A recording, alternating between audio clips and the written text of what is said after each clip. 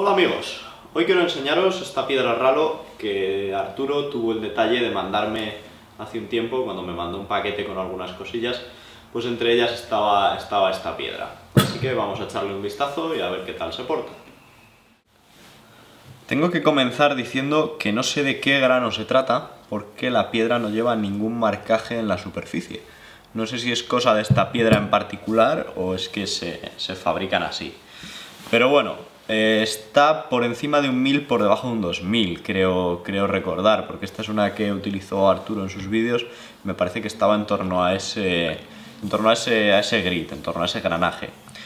Entonces, pues bueno, considerémosla pues una piedra de, afilar, ni de, ni de, vaciar, ni de pulidos, simplemente pues de, trabajo medio, ¿vale? Lo que normalmente pues el trabajo de afilado más, más estándar.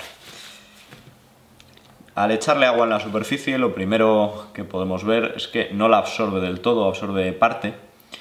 No sabría si considerarla una splash and go como tal, quizás sí, porque parece que tampoco absorbe mucho.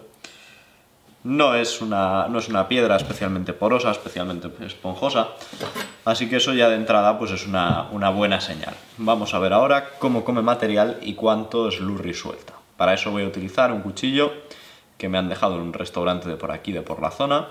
El poco filo que le quedaba se lo he quitado con una chaira de diamante, con lo cual partimos de un cuchillo que necesita pues, unas necesidades de afilado moderadas, acorde a lo que espero que debería darnos la piedra.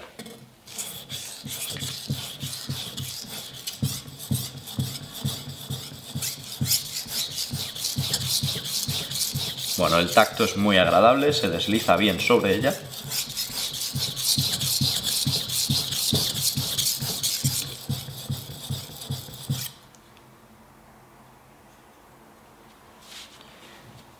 Que hay que remojarla con, cierta frecuencia, esto es algo que normalmente en las piedras me tira un poco para atrás, pero bueno, intentando no prejuzgar mucho antes de probarla más, vamos a ver cómo va comiendo, cómo va comiendo metal.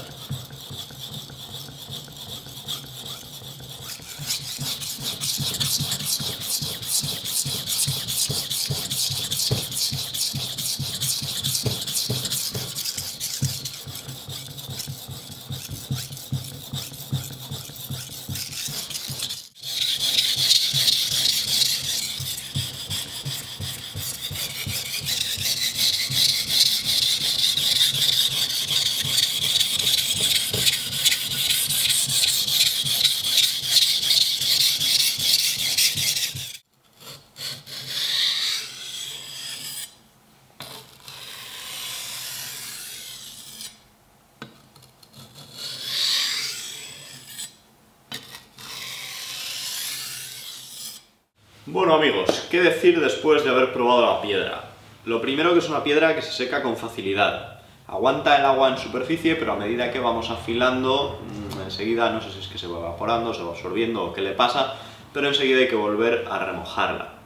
Eso para mí es un contra. Ahora vamos con los pros, que tienen más de, de los que esperaba. El pro principal que tiene es que el afilado que deja es muy fino, es un dentro de que no es una piedra de, pulido, deja un corte bastante suave y bastante, y bastante agradable.